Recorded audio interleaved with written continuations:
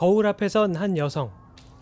세수하고 화장까지 마치더니 침대에 누워 찍은 사진을 아침 인사와 함께 인스타그램에 올립니다. 이 사진을 본 한 남성은 사이클용 헬멧을 들고 밖으로 나가더니 마치 방금 자전거 완주를 마친 사람처럼 사진을 찍어 역시 인스타그램에 올립니다. 영상은 소셜미디어 속 일상이 실제와 얼마나 다른지 또 어떻게 연출되는지를 보여주죠. 그리고 인스타그램과 거짓말을 뜻하는 라이를 합성한 세계, 인스타 라이에 사는 건 아니냐고 묻습니다. 댓글에는 소셜미디어라는 세계가 얼마나 허무하고 위험한지 자주 섞인 글들이 이어지는데요.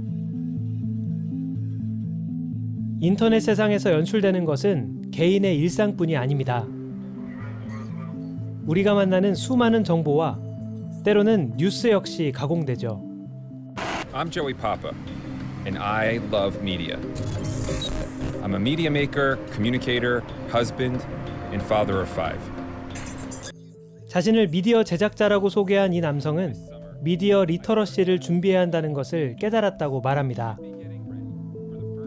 미디어 리터러시란 다양한 미디어에 담긴 지식과 정보를 이해할 수 있는 능력을 말하는데요. 미디어 시대를 살아가기 위해서는 다양한 정보 속에서 진짜 정보를 찾는 능력이 필요하다는 것입니다. 버락 오바마 전 미국 대통령이 도널드 트럼프 대통령에게 쓸모없는 사람이라며 독설하는 이 영상은 유명한 가짜 동영상입니다. President Trump is a total and complete dipshit. 버즈피드라는 인터넷 매체가 한 영화 감독과 만든 영상인데요. 이렇게 가짜 뉴스가 세계적인 문제로 떠오르면서 다소 생소한 미디어 리터러시가 주목받고 있습니다.